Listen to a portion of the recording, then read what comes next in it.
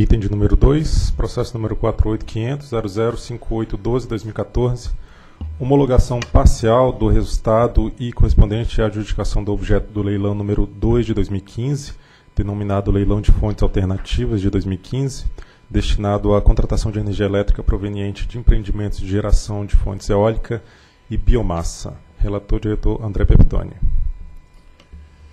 que trata-se de um processo análogo ao anterior, porém o objeto agora é o leilão número 2 de 2015, que foi realizado no dia 27 de março de 2015, e trata-se do leilão de fontes alternativas de 2015. Então, nesse leilão se sagraram vencedoras oito usinas termoelétricas e três usinas eólicas, o que totaliza 11 empreendimentos. E por considerar a publicação do despacho 2100 de 29 de junho de 2015 no qual a Comissão Especial de Licitação habilitou os vencedores titulares de seis empreendimentos. E diante disso, eles, essas empresas ap apresentaram a documentação e exemplo do caso anterior. Decorrido o prazo legal, não foi interposto qualquer recurso contra a habilitação promovida pela CEL. Esse é o relatório e a gente vai, vai é, indicar aqui para que seja adjudicado parcialmente o leilão e homologado esses empreendimentos. É o relatório. A Procuradoria já se manifestou para esses casos.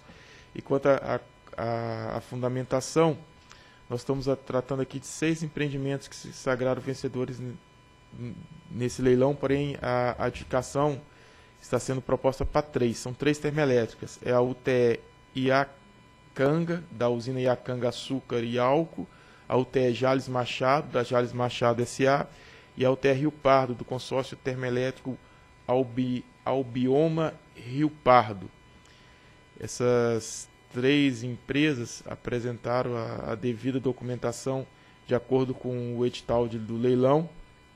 Então, dos 11 empreendimentos, seis já, é, já foram habilitados e adjudicados. Essa é a segunda vez que a gente traz esse processo para a pauta do leilão, abordando três.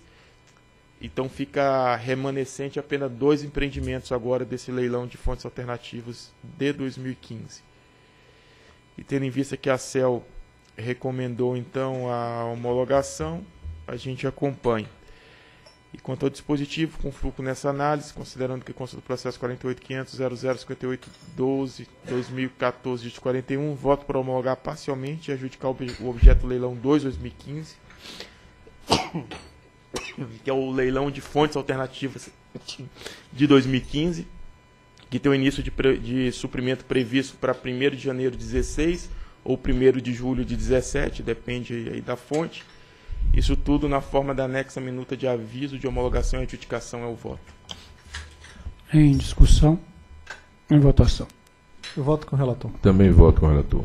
Também voto com o relator e proclamo que a diretoria decidiu por homologar e adjudicar parcialmente o objeto do leilão 2 2015 denominado Leilão de Fontes Alternativas de 2015, para início de suprimento em 1 de janeiro de 2016 ou 1 de julho de 2017, conforme o caso, na forma da anexo minuta de aviso de homologação e adjudicação. Próximo item.